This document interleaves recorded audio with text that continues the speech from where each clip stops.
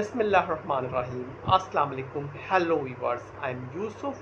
I welcome you all in 5 minutes information channel. This is episode number 116 and today I will talk about the bibliometric studies. The notes of this video lecture mention on the link of this video description. In this episode, I will discuss two main questions. Point number one what is bibliometric study? And point number two what are the different types of bibliometric studies? Come to the point number one what is bibliometric? Bibliometric is the use of statistical method to analysis of books, article, other publication and scholarly publication, especially in scientific content.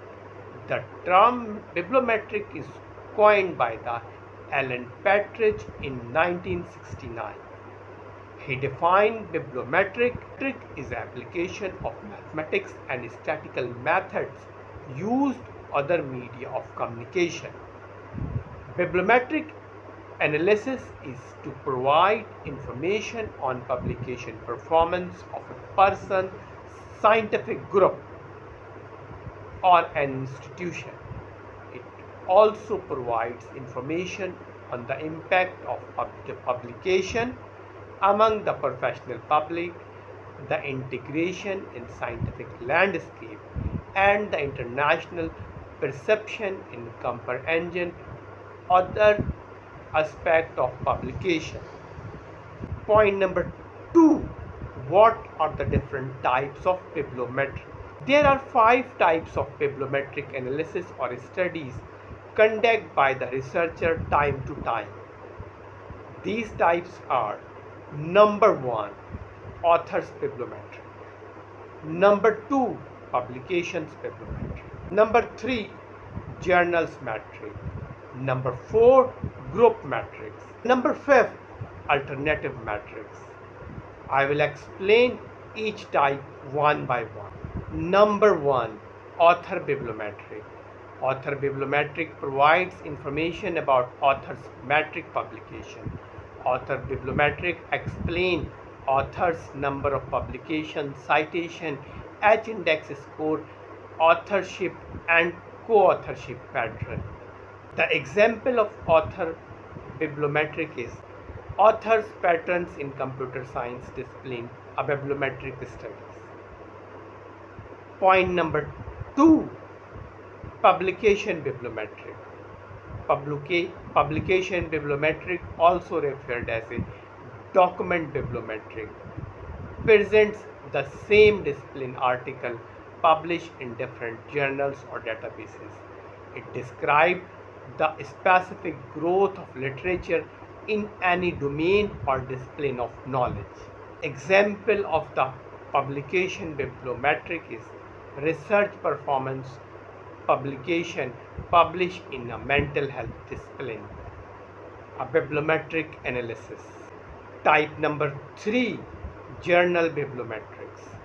Journal bibliometric analyzes and provides the statistical analysis of journals like journals impact factor, average number of citation for articles in a particular journal from the from the preceding years which is used which is usually published by the JCR, Scimago Journal ranks, SJR, Source Normalized Impact Factor, SNIP, Field Weighted Citation Impact, FWCI and other major indexing tool. The example of journal bibliometric is bibliometric analysis of top 10 emergency medicine journals. Number 4 group metrics.